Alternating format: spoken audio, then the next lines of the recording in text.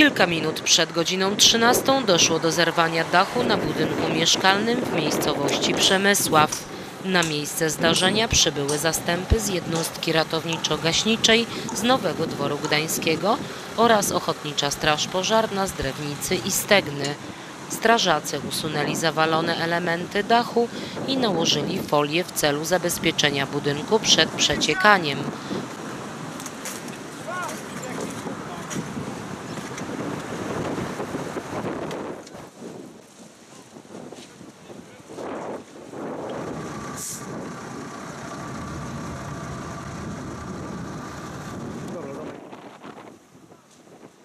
W budynku zamieszkiwała jedna starsza osoba, którą zajął się Miejsko-Gminny Ośrodek Pomocy Społecznej w Stegnie.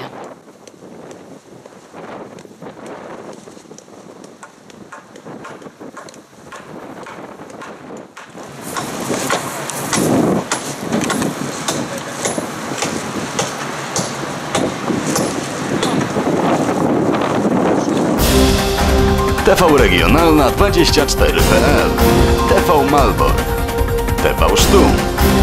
Żuławy i Mierzeja 24.pl To my tu kręcimy.